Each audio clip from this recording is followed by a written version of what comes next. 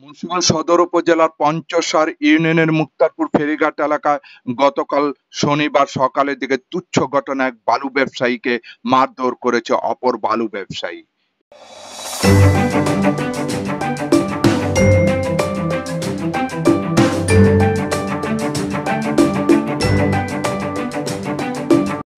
মুন্সিগঞ্জ সদর উপজেলার পঞ্চসার ইউনিয়নের মুক্তারপুর ফেরিঘাট এলাকায় গতকাল শনিবার সকালের দিকে তুচ্ছ ঘটনায় এক বালু ব্যবসায়ীকে মারধর করেছে অপর বালু ব্যবসায়ী। এ নিয়ে মুক্তারপুর ফেরিঘাট এলাকায় বালু ব্যবসায়ীদের মধ্যে টান টান উত্তেজনা দেখা দিয়েছে।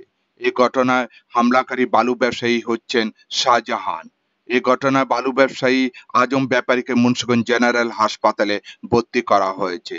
আজম ব্যাপারীর পক্ষে ঘটনায় হামলাকারী শাহজাহানের বিরুদ্ধে মুন্সিগঞ্জ সদর থানায় অভিযোগ দায়ের করা হয়েছে। আমার নাম মোহাম্মদ আজম ব্যাপারী। আমি ইট বালুর ব্যবসা করি। আমার পার্শ্ববর্তী ইটের গদি শাহজাহান শাহজাহান ওরফে সাকরা। ও আমাকে অকথ্য ভাষায় গালাগালি প্রায় প্রায় করে। আমার থেকে দুই দিন আগে বালু নিছে। আমার গাড়িওয়ালায় গিয়ে বালু পড়ছে আমি খালি জিজ্ঞেস করছি কেউ আমার গাড়িওয়ালায় আমার কথা বলছে? হ বলছে, কী হয়েছে? তা আমি তো বলছি যে, আমার বালুর টাকাটা দাও, তোমার বালুর টাকাটা আমি দিয়ে দিই। এই এই কথা বলার সাথে সাথে সে আমার উপরে আক্রমণ করছে। সে আমার মারধর শুরু করে দিছে। ঘুষা দিয়া মনে করেন আমার এই নাক ফাটায় ফেলাইছে। আমি সাথে সাথে এই হাসপাতাল আসছি। তারপরে আমি থানায় গিয়া আপনার এজাহার করছি। হ্যাঁ।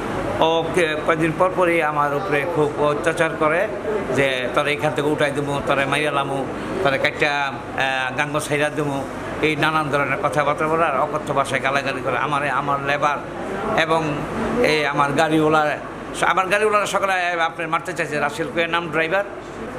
এই সে সবসময় আমাদের, আমার উপরে আমার খুব চাপের উপরে রাখে।